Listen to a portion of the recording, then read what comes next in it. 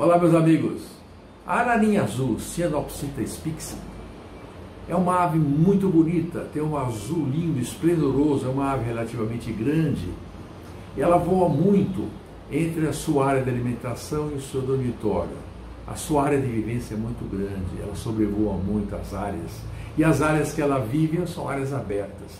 Então ela é muito visível, ela é muito é, vista na natureza. Então, nesse processo de reintrodução que vou iniciar em breve, eu sugiro que os pesquisadores dêem muita atenção à educação ambiental da comunidade local e do entorno, e de todas as pessoas que vão ver essa ararinha na natureza.